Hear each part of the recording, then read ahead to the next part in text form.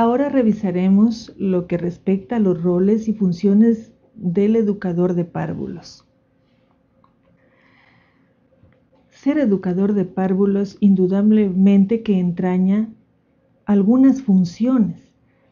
Entre ellas, como educador de párvulos, tenemos diagnosticar características, necesidades e intereses de los párvulos.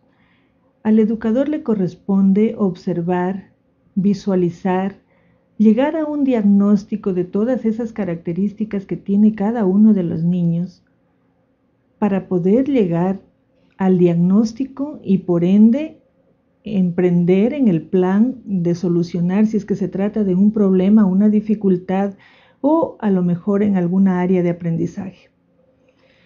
Definir y formular los objetivos a favorecer. Cuando empezamos a planificar es lo fundamental.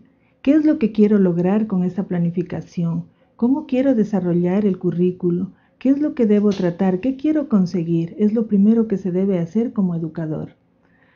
Planificar y organizar las diferentes estrategias de aprendizaje de los niños. Y en esto sí hay que ser muy específicos. Las estrategias, nosotros somos quienes debemos percatarnos perfectamente de esas características del grupo con el que estamos trabajando para planificar las estrategias. Para cada estudiante, para cada niño necesitamos darnos cuenta de esas características de aprendizaje para poder emplear estrategias que conlleven a la consecución de los objetivos planteados. Crear un ambiente afectivo, receptivo y confiado en, función a los párvulos.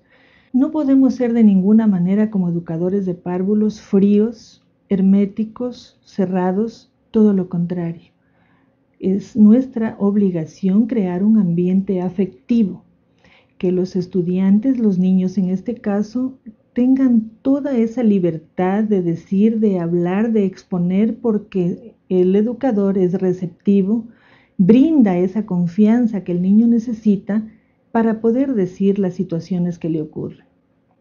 Interactuar con los niños atendiendo sus necesidades grupales como personales.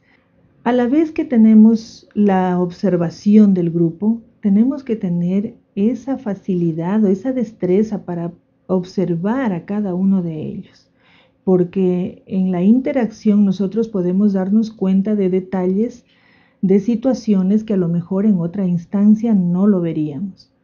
Realizar todo tipo de actividades, tanto aquellas que apuntan a objetivos estables como a otros más variables porque siempre tenemos actividades de diversa índole y por ende nosotros siempre tenemos que estar realizando aquellas que apuntan a esos objetivos que nosotros ya planificamos desde un principio o también a aquellos que van surgiendo a lo largo de la marcha en nuestra actividad como docentes.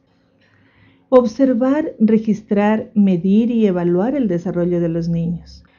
La primera técnica natural del ser humano es la observación. Y en esta labor, como educador de párvulos, debe ser la primera, la primordial, la que nos permite darnos cuenta de muchas situaciones.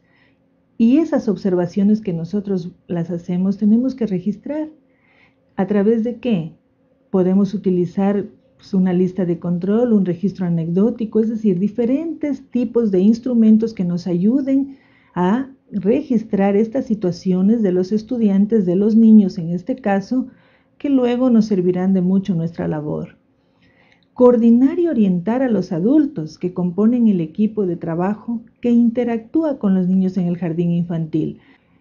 Como educadores de párvulos a cargo de un grupo de niños, tenemos que siempre estar al pendiente de la interacción de ellos con los demás profesionales que tienen injerencia en la labor educativa en el jardín infantil. Pero a la vez que como educadores de párvulos tenemos ciertas funciones, también tenemos otras relacionadas con el rol de orientador en los aspectos de la educación infantil. No es simplemente ser educador de párvulos por sí, sino orientadores también en el proceso. Y dentro de estas funciones de orientador podemos detectar las normas y prácticas de crianza tanto de familiares como comunitarias que existen Cada niño viene de una realidad familiar, social, diferente y nosotros tenemos la obligación de detectar estas prácticas que muchas veces repercuten en el buen desarrollo del jardín infantil. Detectar aquellas necesidades tanto familiares como comunitarias que inciden más directamente con la educación de los niños. Nuestros niños tienen necesidades de toda índole y es el educador en su función de orientador quien tiene que detectar estas necesidades si un niño es carente de afecto, debemos saber darnos cuenta de estas necesidades. ¿Para qué? Para hablar con la familia, hablar con los padres, hablar con las personas que estén a cargo del niño para solucionar la problemática. Planificar las acciones a desarrollar según diagnóstico elaborado. Si observé, anoté y registré todas mis observaciones, apliqué instrumentos para llegar a qué? A un diagnóstico. Entonces, sobre este diagnóstico hay que trabajar, hay que planificar acciones, elaborar planes de mejora para solucionar las dificultades. Realizar las diferentes acciones tendientes a llevar a cabo los objetivos propuestos. Todas las actividades tienen que ser en torno a ello, en torno a los objetivos que nosotros planificamos conseguir a lo largo del desarrollo del currículo. Y por supuesto, evaluar las diferentes acciones emprendidas. Todo proceso tiene que ser evaluado. Y más en esta parte de orientación que nosotros tenemos que darnos cuenta de cuál ha sido nuestro accionar, qué cosas nos dieron resultado y qué cosas no. Entonces es importante emprender en este proceso de evaluación. Muchas gracias.